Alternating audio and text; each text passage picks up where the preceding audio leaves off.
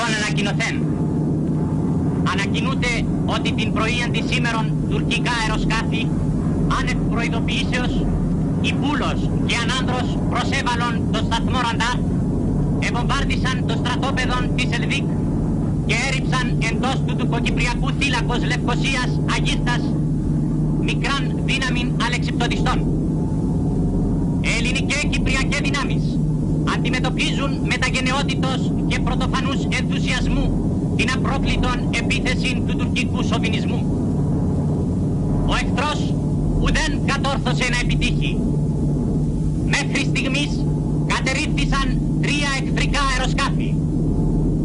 Ουδεμία απώλεια εσημειώθη εις τα συμμετέρας δυνάμεις.